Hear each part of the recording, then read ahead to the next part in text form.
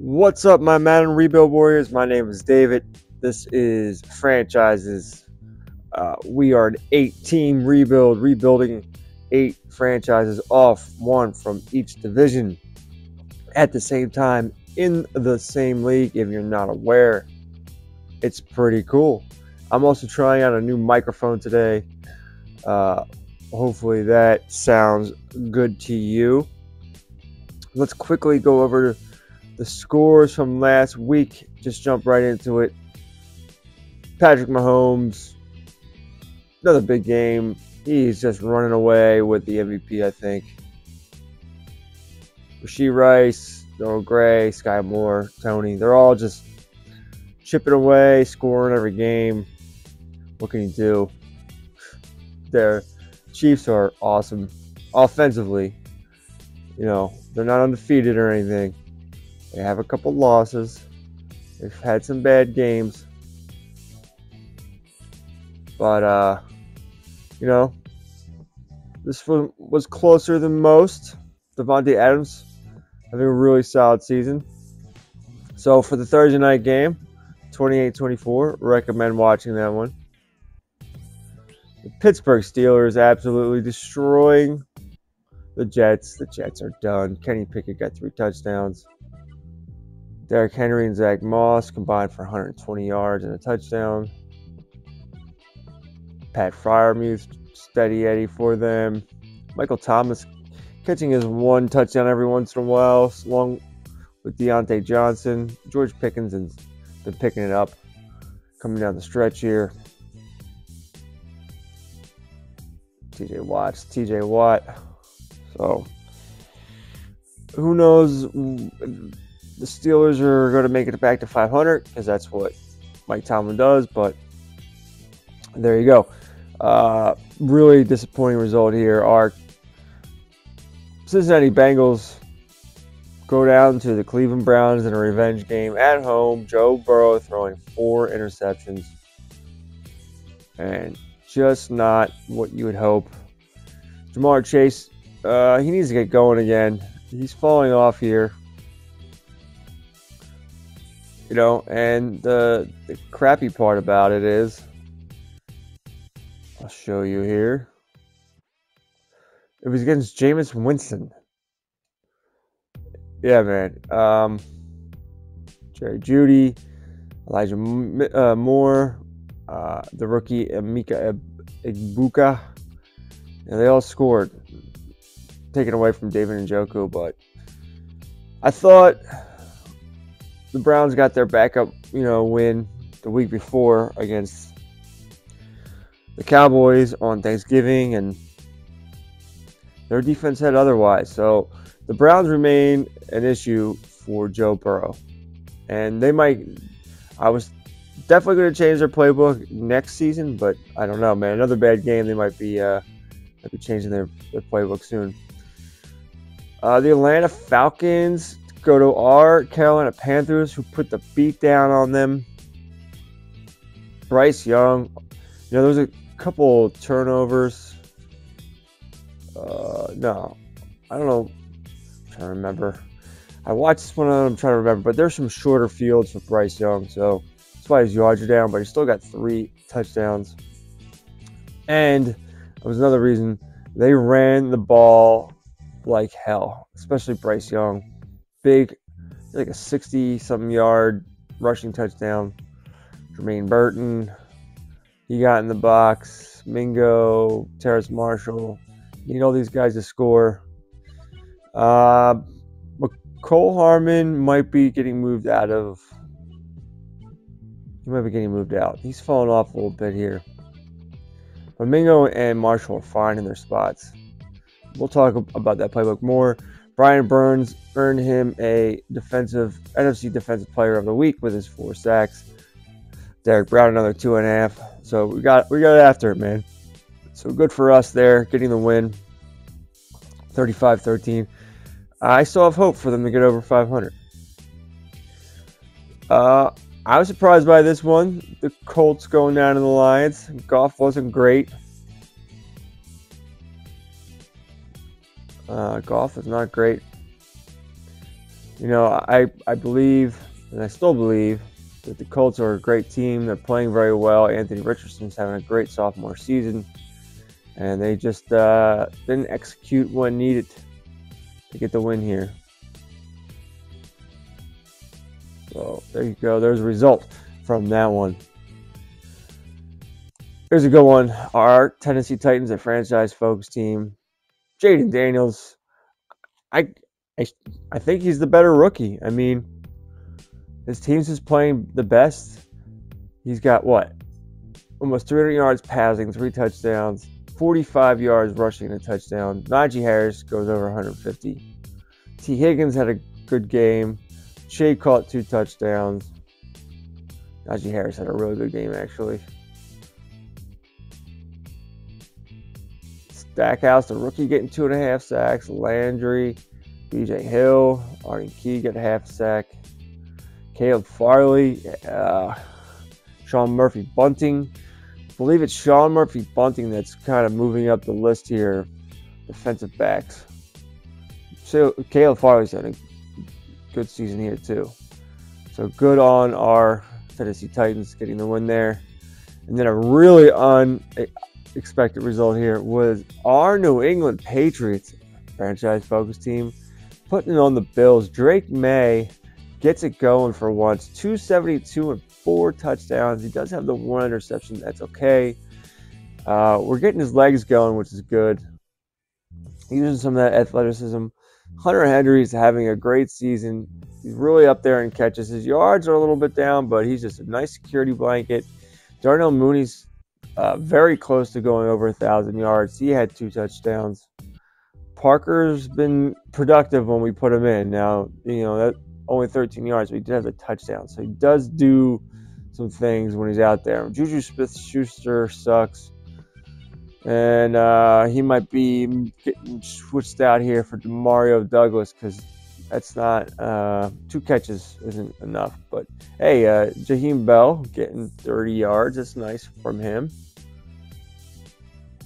Uh, we're one game out of 500, and it'd be nice to see let's get to back 500 and you know really really really put uh put it on the teams ahead of us for that last wild card spot see if we can catch them uh great win here. Gutty win for our arizona cardinals. Another another game where you know shorter fields two interceptions for, for love kyler murray uh, at least two touchdowns in like I don't know how many games. Okay, Makers got in the box. A little bit on the down rushing yards for uh, Kyler Murray. Trey McBride got in there. So, you know, sometimes you don't need the stats, you just need the win. It's the only stat you need.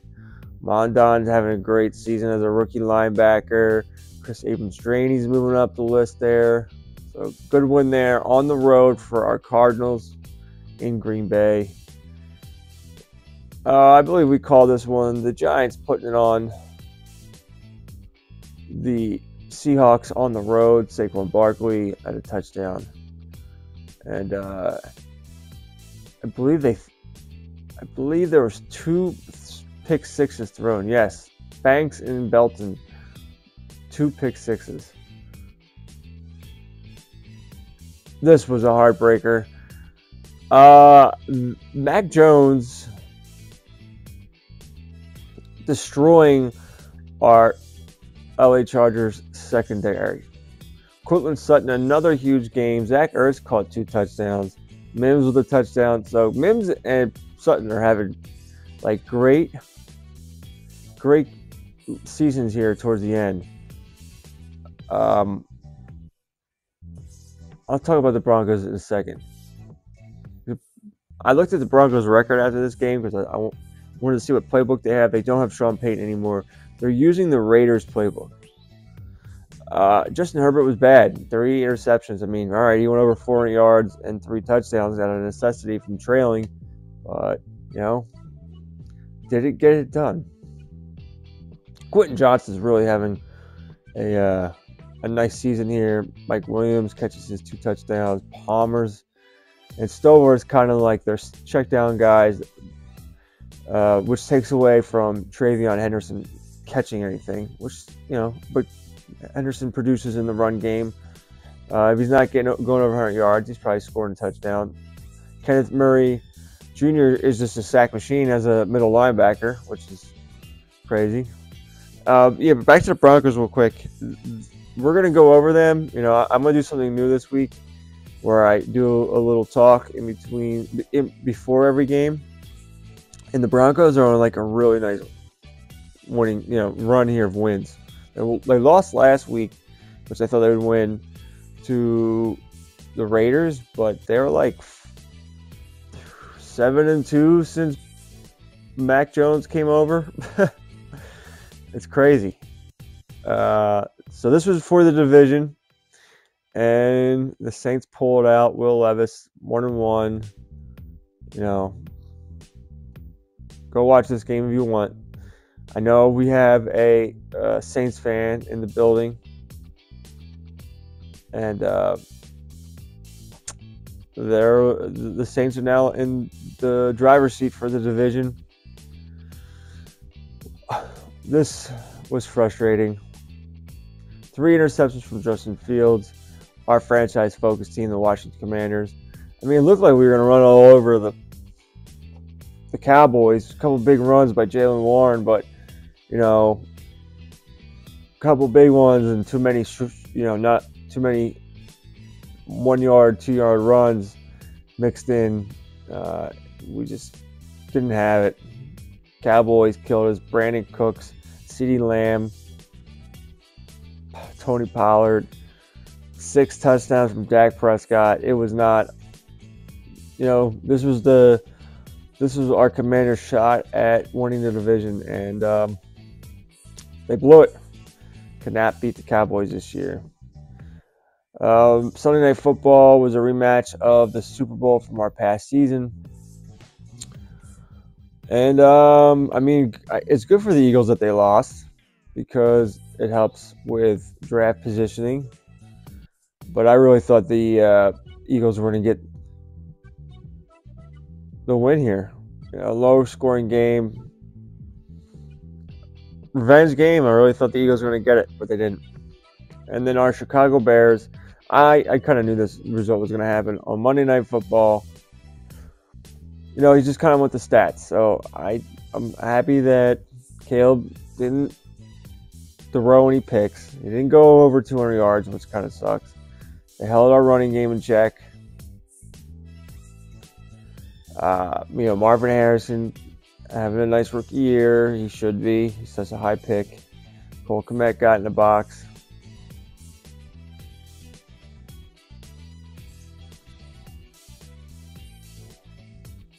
You know, but our defense was not good. The 49ers, Brock Purdy, you know, we held Christian McCaffrey in check in the run game, but Deebo's back, Aiyuk's Aiyuk, and then just kind of feeding these guys down here. So, unfortunate, man. Unfortunate.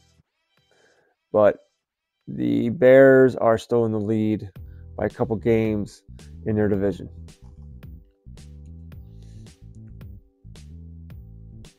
Let's go to the stats.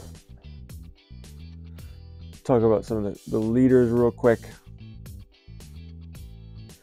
Uh, we just did a big video on stats, but we try to keep you up to date as we go. Patrick Mahomes, almost 4,000 yards. Stafford's right behind him. Herbert, Baker. This playbook, this uh, Josh McDaniels playbook for the Raiders. I think it's got some potential to be really good. Now, if you remember two years ago, the Raiders was my favorite uh, quick sim playbook. And like, look at Patrick Mahomes, man. Almost 10 more touchdowns than Herbert. You know, Herbert's having a real nice stretch here. Even though they just lost, he's thrown at least three touchdowns in like four straight games. Prescott's catching up you know, some of the usual names, but no one, no one's Mahomes, man. He's got the playbook, he's got the overall, he's got everything. Uh, Jonathan Taylor, McCaffrey, and Dameon Pierce are now 1,000, uh, all over 1,000 yards. R.J.K. Dobbins right there. So is TreVeyon Henderson. I believe they will go with over these without uh, injury. But Henderson leads in touchdowns.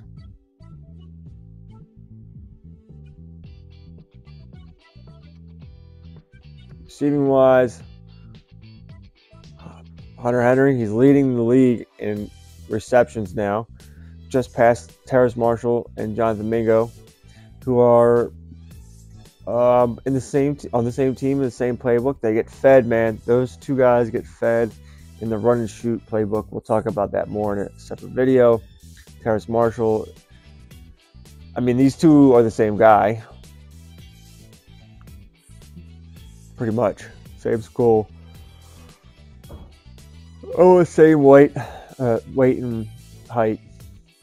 Davante Adams is Davante Adams. Diggs. Kadarius, Kadarius Toney. Wow. No longer cadavers, Toney. Defensively, solos goes to Jordyn Brooks and Matt Milano. Total tackles, Olu Khan. I think that's how I heard his name. Look, at, but him and Devin Lloyd on the same team, both. That's ridiculous. Quay Walker, Drue Tranquill, tackles for loss. Jonathan Allen's a beast.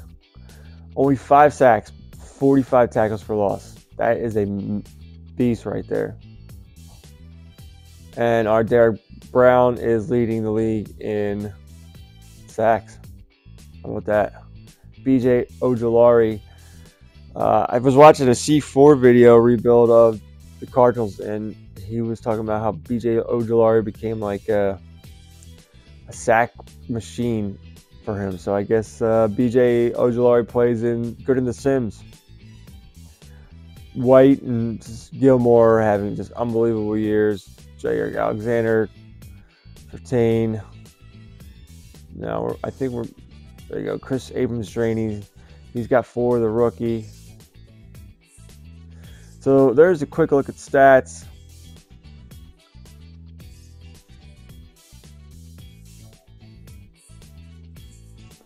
Best offense. Chiefs, Chargers, Rams, Ravens, Colts. Most passing yards, Chiefs, Rams, Chargers, Bengals, Panthers, Dolphins.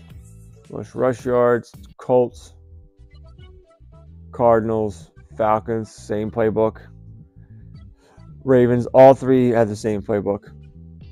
Commanders, same playbook as the Colts. So it's all about you. Leading the league in rushing is all about getting rushing out of your uh, your uh, quarterback. Then the Chiefs lead the league in points, the Cowboys have now caught up with them. Chargers are creeping up on them. Dolphins, 49ers, all the all the usual names here. Chiefs, of course, have the most passing touchdowns. Chargers, Cowboys, Dolphins, 49ers, most rushing. The Ravens, Colts, Chargers. It's all about TreVeyon Henderson. Most first downs. I got a cat jumping on me. Chiefs, Chargers, Colts, Bills. How about defense? The best defense is the Colts, followed by the Bengals, the 49ers, the Buccaneers. It's crazy about the Colts.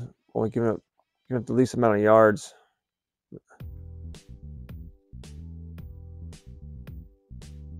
Um, Least amount of passing yards, them and the Bengals, the Seahawks. Least amount of rushing yards, the Rams, Dolphins. Now, the Dolphins is because, in my opinion, they give up so much passing yards. Buccaneers, Giants. Let's give up the least amount of points. The 49ers, of course, the Buccaneers, Cowboys, Browns, Bengals. Most sacks are Panthers and the Browns, Eagles, Buccaneers, Seahawks. Wow, the Seahawks? That's crazy. Most interceptions, the Cowboys and the Bills. followed by the Broncos, Titans.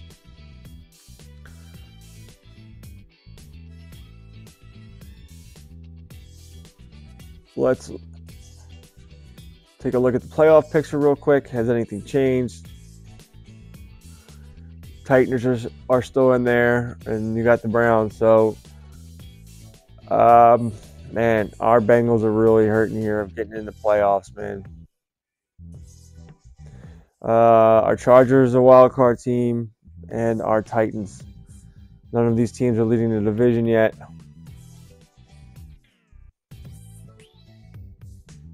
You know, can they get in there? Eh, maybe.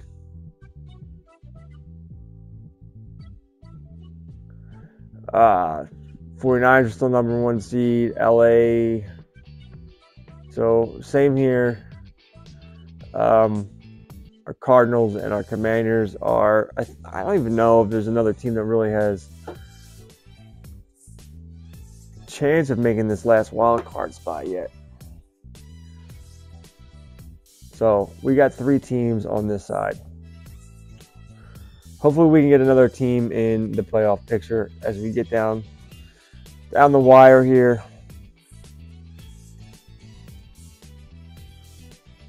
Injuries. Bears are clean. Bengals still missing Cap. Oh, Cap is not gonna be back for the rest of the season. Gadsden's still not back. Orlando Brown's still not back. They're still playing without their right side of the line. That's hurting them. Bills are clean. Broncos still without Byron Murphy, Cushenberry. So they got some problems on their offensive line. Deshaun Watson's out for the season. You should, you know, if you've been following, you should know that. Tomlinson's still out. Buccaneers, White's still out. Paris Johnson still is now out for the Cardinals. JT Woods is still out, and we just lost Tuli Tuipulotu. Chiefs are clean. Colts are clean. Commanders are clean. Cowboys, Chauncey Golston. Dolphins are clean. Eagles now lost Mailata. Falcons are clean.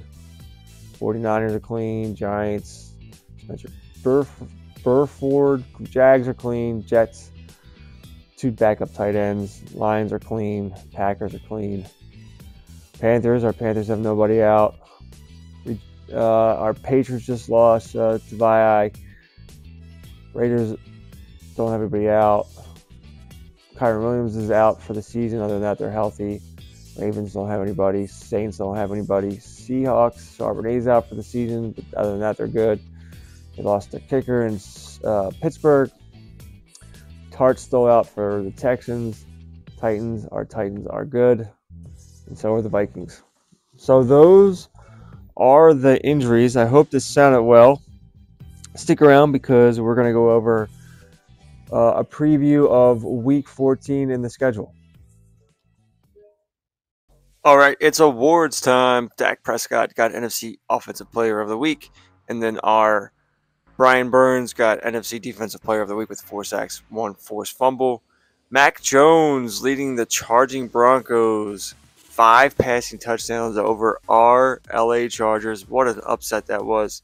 And then speaking of uh, another upset, kind of uh, the Browns and Grant Delpit, who got offensive or uh, defensive player of the week, beat our Bengals.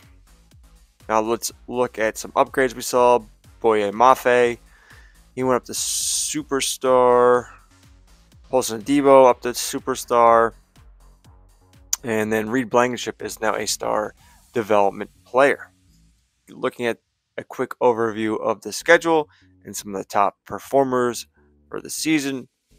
Moving to a broader view of the schedule. Running through here. Now let's get to every game individually, starting with a Thursday night football game in Atlanta. The Dallas Cowboys travels to Atlanta. Uh, the Cowboys have a nice schedule here to finish the year, probably. Uh, I don't see Atlanta on a short week, even though they're home, getting a win here against the mighty Dallas Cowboys. The Dallas Cowboys will become the first 10 win team of the season and the Atlanta Falcons will still be uh, in the hunt for the number one overall pick in the draft. Then the first one o'clock game on Sunday is our Chicago Bears home against the Detroit Lions. Now I worry here that we're gonna. Everyone in this division is under 500, so things could get crazy here. You know, they still have our Bears still have a rookie quarterback, and the Lions are always dangerous. You never know what lines team's going to show up. So I'm uh, a little worried about this. And then the next game, hopefully, our LA Chargers can get revenge for our Cincinnati Bengals in um, Cleveland against the Browns. The Chargers and the Chiefs are tied for the division, but I could really see seeding being thrown in a monkey wrench if the Chargers lose here, and you got like a bunch of nine or four teams here. So scary spot here for our LA Chargers. I'm going to take the Ravens here. They go to nine and four, keep pace with the Browns. But you know, always said Mike Tomlin's a 500 ball club guy. I've ever seen one. You know, he's really good at you know getting the most out of his team. So could they get a sneaky win here? I, I don't think so. I think uh, Baltimore and the Browns are chasing each other for the division, which is really hurting our Bengals. So give me um, the Ravens there. And speaking of the Bengals, you know Joe Burrow, his kryptonite is the Cleveland Browns, but he is also a big game hunter, and I see Joe Burrow rebounding here after throwing four interceptions last week, throwing four touchdowns this week, and uh, he, you know, he he gives it to Mahomes. Man, this is going to be a great game. This is probably one of the best games every year. Bengals over the Chiefs, and then a tough spot here. Uh, I think Miami is looking to become the second 10 win team uh, on the season and that's a tough spot for our Arizona Cardinals. Back to back road games. Now you're down in Miami against a really good team. I mean, our, our Cardinals are playing well, but I just don't think this is the right spot for them. So give me Miami here um, in a good game. And then this is an interesting game here. Indy, Indy could lose this because that would really throw a wrench into wild card contention that moves the Jags up a spot. Yeah, this AFC wild card uh, race is going to get interesting this last spot for this last wild card team, and I think the Jags do that with a win at home, and uh, that also kind of plays with uh, who's going to win that division, maybe. Now, I I'm picking the Vikings here because I think the Bears lose, the Lions win, and then the Vikings win. This this race isn't over in my opinion. Uh, for the Bears, but if both the Vikings, the Packers, and the Lions lose, then uh, yeah, it's over. But I think I actually think all three of those teams are going to win, and the Bears are going to lose. So uh, Seattle's done. Seattle's fighting for that uh, last spot uh, the uh, top draft picks, though. I give me Denver here. Denver's on a roll. Jets suck. Denver's home. Um, I think Denver can creep up into that last wild card spot here. They I looked at their schedule. They can rattle off like four more wins in a row, get over 500. Uh, they have the last two games are tough, but uh, Denver could be a contender for that last wild card spot. And then the Tennessee Titans, tough spot for them on the road. I mean, I know Houston's five and seven, but uh, I don't know, man. That's uh,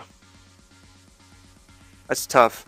Houston could always win. They're still Houston despite that record, but uh, and with the Colts probably probably losing, I think Tennessee loses here.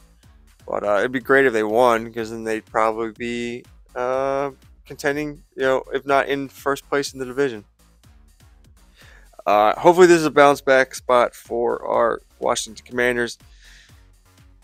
Doesn't matter not really. There's really no race right now for anybody for the last spot or the last two spots, even that of the wild card. So, I mean, Commanders kind of have that locked out right now. So they could afford to lose, maybe, but I don't want to see it. But uh, give me the Commanders here at home. And I think this is a. Uh, all right, so the Giants' defense is tough, but I think this is a great spot for the Panthers, our Panthers that we're rebuilding to get two wins in a row and inch their way back up to 500. I, am really just trying to get this Carolina Panthers back up to a, a respectable record close to 500. And I think um, I think they can do that in New York because their uh, offense is not good. Good spot here. I like the Rams actually. I don't know. I don't know if I like the Rams. Uh, it doesn't really. Uh, same thing. Rams are a wild card team. They're seven to five. There's no one really else putting pressure on them, so they don't need to win. And we can see another 10 win team here in the NFL. And uh, I think that is the San Francisco 49ers after they just demolished our Bears. Uh, this is a pretty good game. I think the Rams give them a game, but the 49ers pull it out. And then uh, I'm picking the Green Bay Packers here to win at home. And then that makes that division in the uh, NFC South just that more crazy with a six and seven team, six seven, six and seven win team, uh, leading the division. You know, and then if Buccaneers win, they puts them back in contention for first in that division. So give me the Packers here. The Packers get back into division talks, and that also puts Buccaneers back in division talks. So we'll see. Uh, that's it. That's it for the podcast. Thank you for listening. Please like and subscribe. Hopefully, I caught you up on everything you need to know. What's going to happen? What's what's happened? And we go from there. Um, yeah. So tell me who you think's going to win. Tell me who you think the big performances are. Who's going to make the playoffs? Who you worry about? Who do you think we haven't uh, talked about that could sneak up into the playoffs? So, got everything laid out for you. You can uh, figure, you know, out, you know, who's going to make the playoffs and uh, who's going to win an MVP and all that stuff. So, love your comments. Please like and subscribe. And we'll see you next time.